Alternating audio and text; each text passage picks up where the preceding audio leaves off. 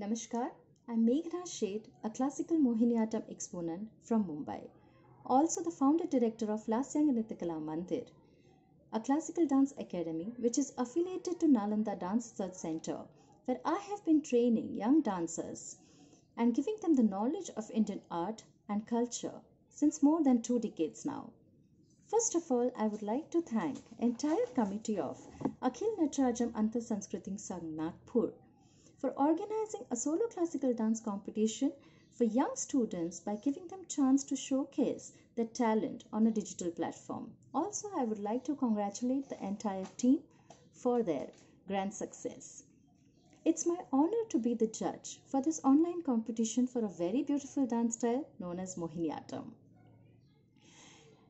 It was a pleasure to watch such talented students pursuing classical art from all over the world, which is rare in today's generation.